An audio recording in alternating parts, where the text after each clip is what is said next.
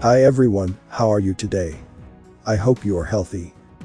Today I will read an interesting article written by Gary D. Barnett entitled, I love my country, my country is best. So, without further ado, fasten your pants and let's get started. Nationalism of one kind or another was the cause of most of the genocide of the 20th century. Flags are bits of colored cloth that governments use first to shrink wrap people's minds and then as ceremonial shrouds to bury the dead. Arundhati Roy Ah, nationalism and patriotism, the scourge of all mankind. Just the thought of these terms brings to mind a telling song by John Prine, your flag decal won't get you into heaven anymore. I have long considered the heinous nature of nationalism and patriotism an affront to all things good in life, merely excuses for hate, hypocrisy, gross arrogance, and committing atrocities against innocents on a massive scale.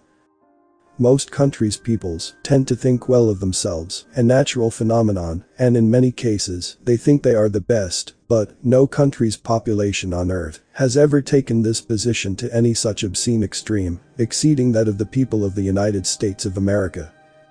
This insane position consumes many if not most in this country today, even though this is a time of hating any traditional history or moral structure ever to exist. They believe this simply because they are here by an accident of birth and nothing more. This useless attitude has brought nothing but brutality, massacre, aggressive war, and the slaughter and murder of others around the world, and left this country and the rest of humanity much worse off than imagined. No one can even define what it means to love a country or hate a country, mainly because it means nothing. When the rulership uses these terms, it is meant as a trick to fool the people into supporting the state and its governing forces. When the common dolts use these terms, it means a support for all that government does right or wrong, but since governments cannot do right, it really means that the people who claim to be patriots and nationalists support most all government action that is heinous and wrong. This is the essence of horrific nationalism and the antithesis of independence and freedom. This is why those who claim to be patriots and nationalists usually have no clue as to what they speak. Before some of you have a cow, let me clarify a few things. First, I have rarely, if ever, heard any say, I love my country, who were simply referring to nature, the landscape, or the societal herd. It is almost always said as a political statement, and in many cases, it is in direct relation to support for aggressive war or egotistical exceptionalism, neither of which are legitimate. In addition, these terms are used as weapons against any who do not toe the line of worship for the state and all the evil it does in the name of its captive citizens. There are even firm rules as to how the blood-soaked cloth called the flag must be treated and respected, as if it were a living being, instead of a hideous symbol of a nation-state and its totalitarian government. These vile terms also indicate that one must support without question the brutal escapades of the murderous military, who will kill anything or anybody on orders from the state and its military heads running the war machine.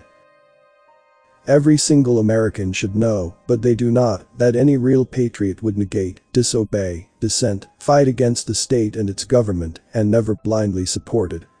No real patriot would ever kill anyone on orders and would only use force for actual self-defense, not to prop up the state's power and fill the coffers of the profiteers of war.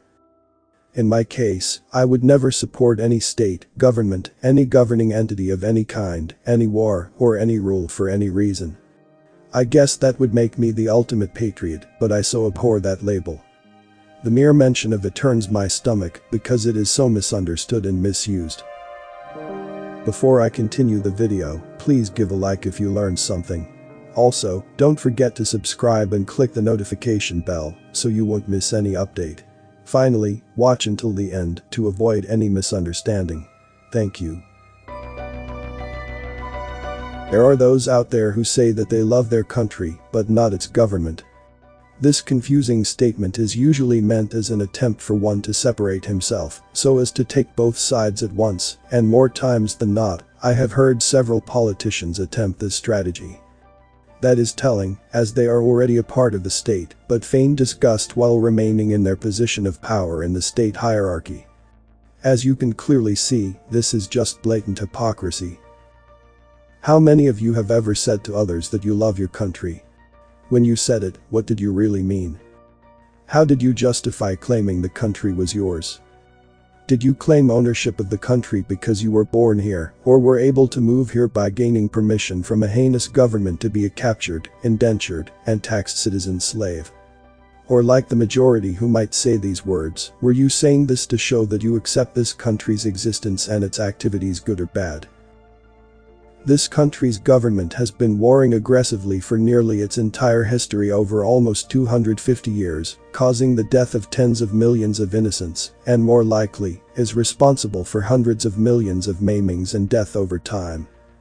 Carpet bombings and chemical and biological weapon releases against civilians worldwide has been a mainstay, whether in Germany, Japan, Korea, Vietnam, and the Middle East, and now of course in Palestine the death or slaughter by sanction of 500,000 Iraqi children under the age of 5 years was lauded by Secretary of State Madeleine Albright, your government representative, as worth it, as loudly announced to the world without pause or concern.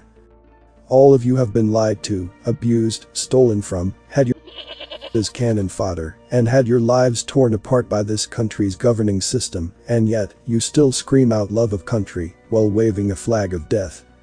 Recently, you have been held in prisons, lost your jobs, and watched as intentional inflation is devastating the entirety of this population, with of course, the exception of the rich and powerful, who continue to revel in your misery as they get wealthier while taking over the world.